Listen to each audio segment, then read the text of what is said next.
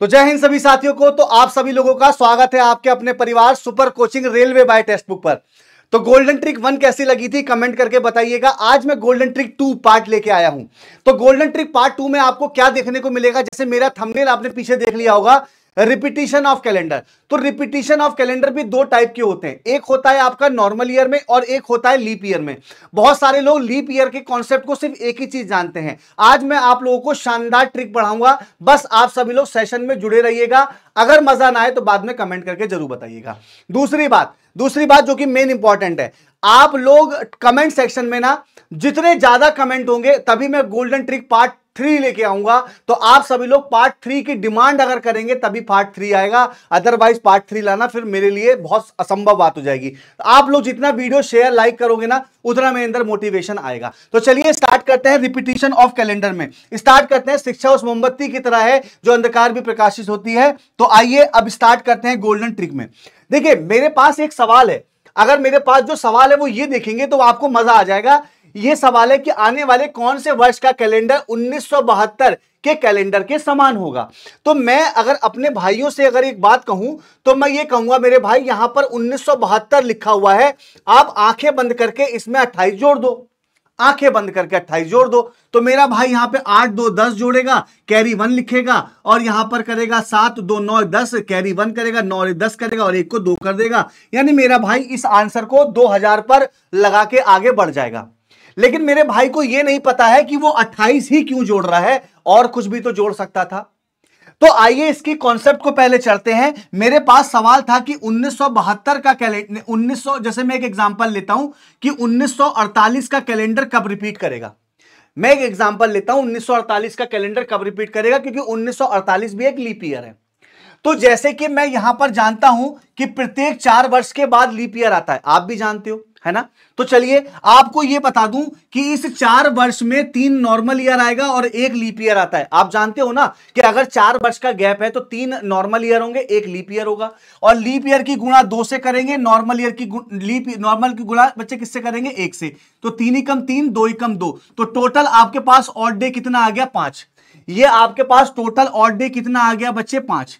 कितना odd day आया आपके पास? पाँच। यानी कि अगर आप देखेंगे तो उन्नीस सौ बावन में टोटल आपके पास कितने ऑड डे आ गए? पाँच। यानी कि हर चार साल में कितने विषम दिन आएँगे आपके पास? पाँच। इसके बाद फिर 1900 आप कहाँ पर जाएँगे? छप्पन पे। तो आपके पास ऑड डे कितने आएगा? पाँच। क्योंकि जब ऑड डे ज़ीरो बन जाता है तो वो रिपीट ईयर कहलाएगा। तो फिर इसके बाद आप जाएँगे 1960 में, क्योंकि ऑड डे कितना आएगा? पाँच। फिर 1960 के बाद 1964 में जाएँगे, और डे कितना आएगा? पाँच। फिर 1964 के बाद 1968 में जाएँगे, और डे कितना आएगा? पाँच। 1964 के बाद 1972 में जाएँगे, और डे कितना आएगा? पाँच। फिर से कितना आएगा? पाँच। तो जोड़ते हैं, पाँच, दस, पंद्रह, बीस, पच्चीस, तीस। और फिर 1976 में जाएँगे तो ऑड डे कितना आएगा? पाँच। अब आपका कितना ऑड डे आ गया? पैंतीस। और जब आप सात से डिवाइड करोगे तो यहाँ पर आपका रिमाइंडर कितना आ जाएगा? ज़ीरो इसका मतलब यह हुआ कि 1948 का जो कैलेंडर है जनाब, वो आप रिपीट होता हुआ कब देख रहे हैं? 1976 में। अच्छा अगर मेरा भाई, ये तो बेसिक तरीका हो गया। एकदम बेसिक तरीका है, लेकिन एग्ज़ाम में हमारा करना क्वेश्चन कैसे होगा? गोल्डन ट्रिक के हिसाब से। तो वो गोल्डन ट्रिक क्या कहती है मेरे भाई? सुनिएगा। गोल्डन ट्रिक मेरी ये कहती है कि अगर कोई भी लीप ईयर दिया हुआ है, कोई भी आपका कैसा दिया हुआ है लीप ईयर दिया हुआ है, आप आँखें बंद करके उसमें 28 जोड़ दीजिएगा तो जो भी आपका आंसर आएगा, वो मेरे भाई आप लोगों का आंसर हो जाएगा लीप ईयर का रिपीटिशन एग्ज़ाम्पल के तौर पे, जैसे मैंने अभी आपसे अगले क्वेश्चन में कहा था कि 1948 का कैलेंडर कब रिपीट करेगा? तो 1948 में अगर मैं 28 जोड़ दूँगा तो आंसर क्या होगा? आठ आठ, सोलह का छह कैरी वन चार दो छह और एक सात, ये हो जाएगा नौ और ये हो जाएगा एक। यानी कि क्या 1976 ऑप्शन में था हमारे, जो हमने सॉल्व किया था? तो आप कहेंगे, भैया, बिल्कुल हाँ 1976 में तो रिपीट कर रहा था। यानी कि 1948 का कैलेंडर 1976 में रिपीट कर रहा है तो मेरा भाई अब गोल्डन ट्रिक यहाँ पे ये लगाएगा कि कोई भी लीप ईयर में अगर आप 28 जोड़ोगे तो आपका आंसर आ जाएगा। बोलो हाँ या ना? समझ में आ गया? एक बार कमेंट करके बताओ यस के साथ। कि अगर किसी भी लीप ईयर में आप मेरा भाई 28 जोड़ोगे तो आपका आंसर आपको मिल जाएगा लीप ईयर में। क्लियर है ना? एक बच्चे को भी बताएँगे, वो भी समझ जाएगा कि सर जी, कोई भी लीप ईयर में 28 जोड़ोगे तो आपका आंसर लीप ईयर में ही आएगा, ठीक है? और लीप ईयर के लिए लीप ईयर ही आना ज़रूरी है। ये बात समझ में आ गई होगी। लास्ट की टू डिजिट जब आप चार से डिवाइड करते हो ना तो वही लीप ईयर पता चल जाता है जिसका रिमाइंडर ज़ीरो आता है, ठीक है? तो चलिए, अब मैं अपने सवाल पे चलता हूँ। तो अब आपको समझ में आ गया होगा कि मैंने यहाँ पर 28 क्यों जोड़ा। कमेंट करके बोलना। अब थोड़ा सा रैपिड फायर खेलते हैं आपके साथ। थोड़ा सा आंसर आप तेज़ी से दीजिएगा। सवाल है कि 1976 का कैलेंडर किस वर्ष रिपीट करेगा? कमेंट करके बताओ स्पीड से। कि 1976 का कैलेंडर कब रिपीट करेगा? अब पहले यह देख लो कि 1976 का लीप ईयर है क्या? बिल्कुल, चार ही कम चार, तीन और छह, चार निम छत्तीस, यानी लीप ईयर है। तो बस खत्म कहानी 1976 में, भैया, कुछ नहीं करना है जनाब 28 जोड़ना है। आठ छह आठ छह कितना होगा चौदह कैरी वन हो जाएगा। सात दो नौ, दस कैरी कैरी वन नौ और एक दस हो जाएगा। ये ज़ीरो हो जाएगा और एक और एक दो, यानी कि दो हज़ार चार इसका ऑप्शन एकदम परफेक्ट है। बोलो सी ऑप्शन कमेंट सेक्शन में जरा सी टाइप करिएगा सभी लोग स्पीड के साथ। समझ में आ गया ना कि किसी भी लीप ईयर में आपको सिर्फ़ 28 जोड़ना है, बस। बाकी ज़्यादा मेहनत मेरे भाइयों को नहीं करनी है। चलो बताओ 2020 का कैलेंडर कब रिपीट करेगा? कमेंट एकदम ऑन है आप लोगों का। कमेंट मेरे भाइयों का ऑन है। वीडियो को बस लाइक करना है शेयर करना है। हर एक बच्चे तक कि जिस बच्चे को ट्रिक नहीं पता होती है, वो भी अपनी ट्रिक सीख जाए। तो सर 2020 लीप ईयर है। बिल्कुल भाई लीप ईयर है, क्योंकि आपको पता है कि लास्ट की टू डिवाइड हो रही है रिमाइंडर ज़ीरो आ रहा है। तो 2020 में अगर मैं 28 जोड़ दूँगा तो क्या 2048 नहीं आ रहा है? आँखें बंद करके क्या आंसर सी नहीं लगा देंगे? बोलो हाँ या ना कमेंट करके बोलो। यानी कि इसका आंसर एकदम सी है क्या? सभी लोग मेरे भाई कमेंट कर रहा है ना? थोड़ा सा स्पीड के साथ, बहुत बढ़िया। चलो, अब यहाँ पर देना है 1876 बहुत इसको इंपॉर्टेंट लगा लो। ये सवाल इंपॉर्टेंट है, क्योंकि आपको ये सवाल एनटीपीसी में या एएलपी में 100 परसेंट की पूछेगा और सिली मिस्टेक मेरा सब भाई करेगा। अब देखिएगा। अब आप कहेंगे कि, सर 1876 है ना, सर, ये तो लीप ईयर है 1876 क्योंकि आपका छिहत्तर लीप ईयर है कंफर्म है। आप पता जल्दीबाजी में 28 जोड़ोगे, आठ छह चौदह का चार, कैरी वन, सात दो नौ, दस कैरी वन, आठ और एक नौ, और ये यहाँ पे आपका एक हो जाएगा तो 1904 और जनाब 1904 तो ऑप्शन में नहीं है। ले भाई, अब क्या होगा? भैया, हमने तो जो ट्रिक लगाई, उसके हिसाब से तो मामला एकदम ही गर्त में चला गया। मामला एकदम ही गर्त में चला गया। अब क्या करोगे जनाब? अब मैं आपको इसकी सीधी एक सिंपल सी ट्रिक दे दूँगा। ना मज़ा आए तो बताना कि आप जब भी, याद रखिएगा, जब भी मेरे भाई यहाँ पर एक बात ध्यान रखिएगा, हमेशा कि जब आप किसी साधारण वर्ष को क्रॉस करते हो, जैसे यहाँ पर बच्चे आपका क्या दिया था? 1800 जैसे अगर मैं यहाँ पर क्वेश्चन की बात करूँ तो अठारह दिया था। जब तुमने यहाँ पर 28 जोड़ा तो तुम लोग यहाँ पर 1900 मंथ को क्रॉस किए कि नहीं किए थे? एक बार कमेंट करके बोलना। तो 1900 तो आपका जो सेंचुरी ईयर होता है ना, ये साधारण होता है। ये आपका 1900 कैसा वर्ष था? साधारण शताब्दी वर्ष था। ये आपका वर्ष कैसा था? साधारण शताब्दी वर्ष था। तो जब भी आप 28 जोड़ो अगर वो साधारण शताब्दी वर्ष को क्रॉस करे तो वो हमारा आंसर जो आएगा ना, वो गलत होगा। तब उस केस में बच्चे हम लोग वहाँ पर 28 ना जोड़ के कितना जोड़ेंगे? तो अठारह में बच्चे, अब हम कितना जोड़ेंगे? 40 तो ये छह हो जाएगा, सात, चार, ग्यारह का एक, कैरी वन, आठ और एक, नौ, और ये वन हो जाएगा तो यानी कि वन, नाइन, वन, सिक्स। ये इसका करेक्ट ऑप्शन होगा। अच्छा हम लोग यहाँ पर चालीस कब जोड़ते हैं, ये भी देख लीजिएगा।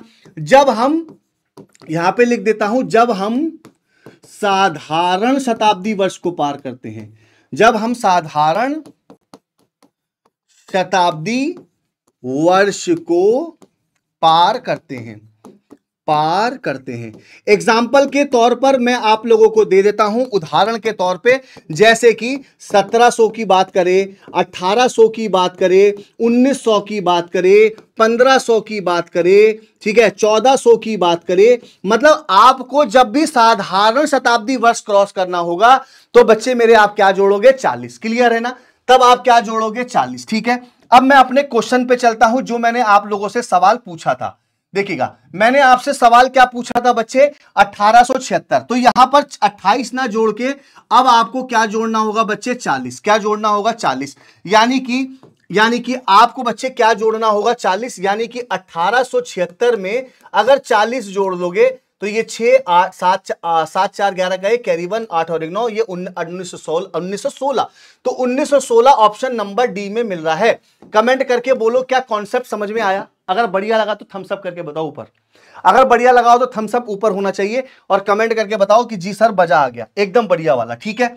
चलो, अब अगला सवाल है आपका अठारह सत्रह अब एक बात समझना, सत्रह सो अस्सी में अगर गलती से तुमने अट्ठाईस जोड़ दिया तो ये आठ आ जाएगा, आठ, दो, दस कैरी वन हो जाएगा, सात और एक आठ और अट्ठारह सो आठ। अब पता है सबसे बड़ी बात क्या है? भैया अट्ठारह सो आठ भी दिया हुआ है। ये गलती आप मत करिएगा मेरे भाई। बस इस गोल्डन ट्रिक को बताने का यही एक मकसद है कि आप लोगों को यहाँ पर 28 नहीं जोड़ना था, क्योंकि जब आपने 1780 में 1800 में एंट्री किया तो क्या तुमने 1800 का मंथ में नहीं एंट्री किया था क्या? ये 1800 के साधारण शताब्दी वर्ष नहीं था क्या? तो जब तुम 28 जोड़ के किसी साधारण शताब्दी वर्ष को क्रॉस कर रहे हो तो वहाँ पर बच्चे, आप लोगों को 1780 में क्या जोड़ना था? 40 जोड़ना था तो ये ज़ीरो हो जाता। आठ चार बारह का दो कैरी वन सात और एक आठ, यानी कि 820 यानी कि 820 इस सवाल का एकदम करेक्ट ऑप्शन होगा। मेरे भाई, अगर कमेंट कर, अगर अच्छा लगा तो कमेंट तो करो यार। अगर अच्छा लग रहा है लिटरली तो कमेंट करना कि ये बारीकियाँ चीज़ें हमें सेकंडों में हो रही हैं। चलो मेरे भाई, अब ये रहा आपका अगला सवाल। जल्दी से बता दो। सोलह तो सोलह में पहले आप अट्ठाईस जोड़ोगे ना, यही तो करोगे आचा बारह, दो कैरी वन है ना? कैरी वन हो जाएगा, ठीक है? और आठ, दो, दस दस और एक कैरी वन सात, छह और एक सात, ये हो जाएगा सत्रह सो बारह। अब सत्रह सो बारह तो ऑप्शन में भी है। तो क्या ये आंसर लगाएँगे? नहीं ना भाई, मेरे ये आंसर नहीं लगाएँगे। तब आप यहाँ पर 28 नहीं जोड़ेंगे, क्योंकि जब आपने 1712 में गए थे तो आपने साधारण शताब्दी वर्ष को क्रॉस किया था। तो जब आपने साधारण शताब्दी वर्ष को क्रॉस किया तो सोलह में आपको 40 जोड़ना था भाई। तो ये चार हो जाएगा, आठ चार बारह का दो, कैरी वन, छह और एक सात, ये हो जाएगा 1724 1724 आपका आंसर हो जाएगा। कमेंट करके बोलो हाँ या ना? मज़ा आया ट्रिक में। तो यानी कि लीप ईयर में आपको 28 और 40 जोड़ने वाला कॉन्सेप्ट क्लियर हो गया। एक बार क्लियर के साथ सारे लोग एक बार स्पीड से कमेंट लिख दो कि क्लियर है। स्पीड तेज कर दो, है ना? और एक सवाल और दूँगा आपके होमवर्क में। ये आपके होमवर्क का जवाब होगा।